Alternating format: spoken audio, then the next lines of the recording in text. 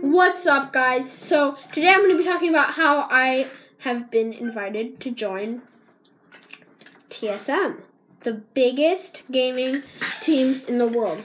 And so, there's, I got my spotlight. I got a new spotlight because they sent me a spotlight because I'm freaking rich and famous. And, anyways, the next time you'll see me, I'm going to be super rich. So, like, right here, obviously, I got my gaming setup. It's not that good. I got my keyboard and mouse, and then there's my gaming PC, and there's my monitor right there.